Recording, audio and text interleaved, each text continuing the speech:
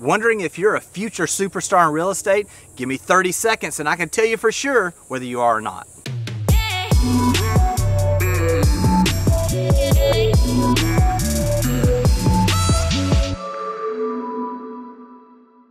The most predictive way to know whether your future in real estate is going to be successful is to look at what you're doing on a daily basis.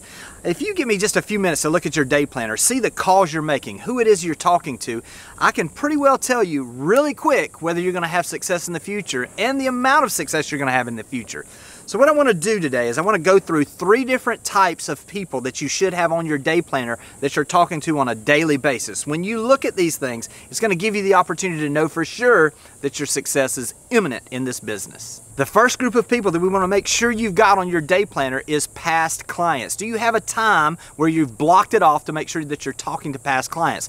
Do you have appointments set to meet with past clients, to go to lunch, to just check in with them, to send them emails, to send texts? You see, when we focus on our past clients, these are people that already know, like, and trust you. These are people that have done business with you in the past, and they're not just there where you have the potential to do business with them again. Now you have a place where you can get referrals, friends, family members that they can refer to you to help grow your business. The second group of people that we need to make sure of that we have on our schedule on a daily basis that we have time blocked off for are our present clients. These are people that are either under contract, we have a listing for, or that we're in the middle of negotiating or showing them property to get to a point of a contract. You see, these are critical times. These are times when relationships are really built. This is the time when they need us the most. This is the time when we need to make sure that we keep in touch with them on a daily basis, that we have consistent follow up, that we make sure we stay ahead of the curve as far as keeping in touch with them during the process. When we do this, it drives our relationship deeper. It gives us the ability to know that the things that we're doing right now are going to get closed or that are going to go under contract.